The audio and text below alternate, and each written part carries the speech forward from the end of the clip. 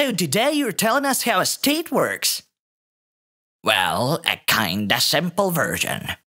Only the part directly related to what we're talking about.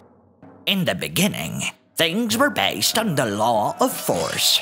The ruler and his army could simply take anything from their subjects. People were practically slaves to the rulers. And people weren't very happy about this. They rioted and killed the rulers who were too mean. So the rulers made some concessions, wrote laws, and the first constitutions. Appointed judges who were to enforce the law, set up parliaments, and so on. In short, they limited their power, but this didn't solve the problem. Got an idea why? That's an easy question. Since the laws were written by the rulers without the people taking part, then they did everything in their own favor. No one would have liked this. Exactly. Humans soon sussed out this trick and again, revolutions and riots. So, democracy was introduced. That's when decisions are made by the majority's vote, and the majority of humans take part in creating laws. For a little while, everyone was happy, but it turned out that the majority's opinion was not enough. Because there are minorities. Do you know what a minority is?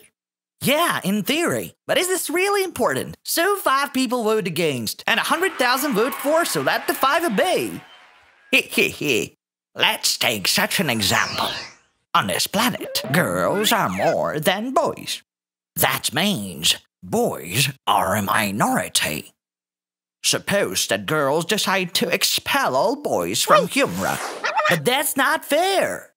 Why not fair? The vote is fair and the rules are followed. That's what we agreed on. Democracy, or everyone has brown eyes.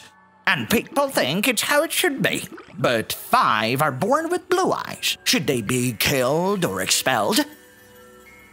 But all this is so complicated. I didn't say things were simple. Humans are complicated. No simple answers to such questions exist. The rights of humans have a lot to do with the rights of minorities. It's not about all the rights and wishes, but some very certain rights letting them live normally in the society. And when authorities impose repressive measures, violence, police, or fighting robots against some individual, one day the amount of the needed force becomes excessive.